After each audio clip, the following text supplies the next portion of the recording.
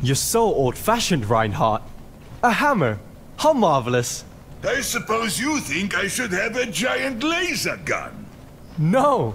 Lean into it. Get Lindholm to build you one of his big robotic horses.